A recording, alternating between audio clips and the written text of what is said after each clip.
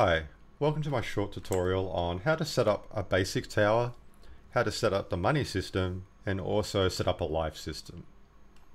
First, we will set up a tower, and I just use this basic guy here. And we're going to change the behavior to soldier, as I find that this one works best. And I'll get rid of the health and click edit logic. Here we don't want the tower to move, so what we'll do is we'll make walk speed zero, run speed zero, and random walk frequency zero. Don't worry about defense, we'll turn that off. Uh, and we'll make the detection range the same as the attacking range six and six, and make sure that the patrol zone covers that area as well. Um, so the tags we want to attack is ground, and the damage we want to do is two each time it attacks. So go ahead and save that as a preset and we'll call that tower one. And we'll go ahead and test that out and see what that looks like. And now you can see the tower attacks and it's a slow attacking tower. But you can see there's a symbol above its head. We want to get rid of that. So we'll go ahead and add an indicator component and all we do is just turn everything off and to zero and that should get rid of the symbol above its head. Just like that. Perfect. Now if we go ahead and save over that preset. Done. Now when we see the tower attack it should just attack without the symbol above its head. If you want to attack faster, you need to add some speed gems to your attack, uh, to your towers to attack faster, uh, and things like that. As you can see, uh, the attack speed requires blue speed gems. So when you add blue speed gems to your asset, your value can increase further. Excellent. So that's how we bring out a basic tower to attack our wave. Next, we want to add money each time we kill the enemy. So we'll go ahead and click gameplay, game rules, and we'll go ahead and add a variable. We'll click the plus symbol at the bottom and we want a number. We'll make it a global and we'll call it money. We'll start off with zero. We want to show it at the start. You can have it at the left hand side or at the bottom. That is up to you. Uh, let's do left hand side in this example. And we'll call this money. Awesome.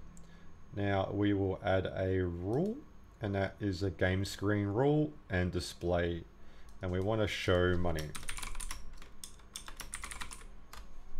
And click add and we'll select the variable money because that's what we want to display and we want it to be true. Awesome. So if we go ahead and press tab we should see on the left hand side money. But when the enemies die nothing gets added.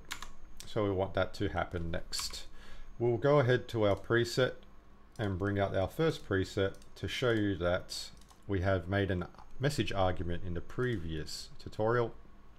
And that one here is listening for the message money. And this is where you can change the value of how much money you get on each wave. Going back to the rule system we're going to add a rule and that is math and we're going to add and subtract number.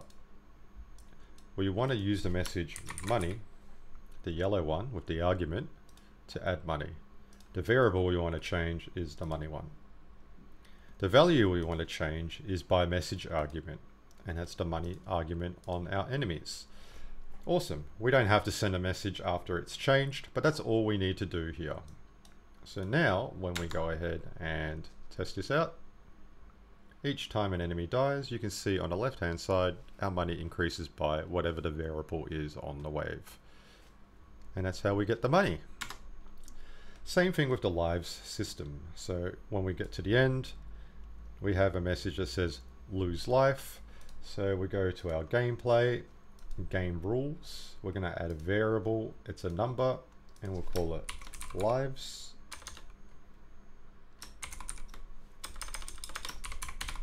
Uh, we want to start with 10 lives in this game. We want to show it uh, probably next to the money underneath it. We'll just call that lives we want to display that variable. So we already got a, uh, a, display variable set up. So we'll click the dots duplicate it and we'll just change the money to lives. Perfect. Next, we want to add and subtract number again. So we'll go ahead and duplicate this one. The money required is uh, lose life, was it? Lose life. The variable we want to change is the life system. And here we want to just do a fixed value of minus one. So now when enemies reach the end, you will lose one life. Go ahead and save that and test that out and see if it all works as it should.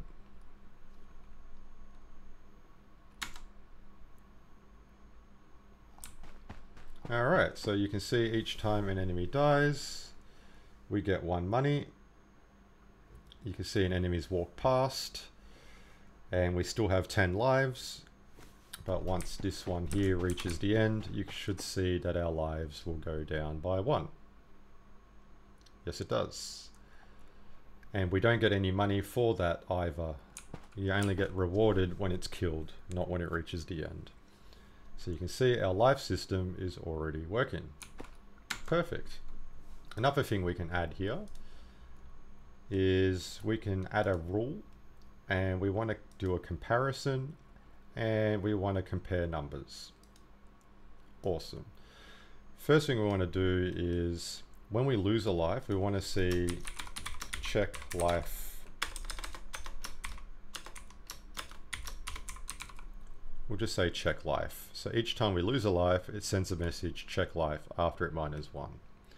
We'll bring that over here on compare numbers. So when we lose a life, it will send a message to check life and a check life will, will compare the life value. We want to see if it equals zero. If it equals zero, we want to send a message defeat because we want a game over to trigger. And all we need to do now is just select um, any component and put in the defeat. Um, I guess I need to make a duplicate, get rid of the single player and then check defeat because it's only multiplayer at this stage. And then we have the defeat here. So when we receive the message defeat, it should be game over. And that's how that part is set up. So that's how we set up a basic tower, um, the basic money system, and a basic life system with a defeat counter. I hope that's been useful, and I'll have more information in the next tutorial. Have a great day.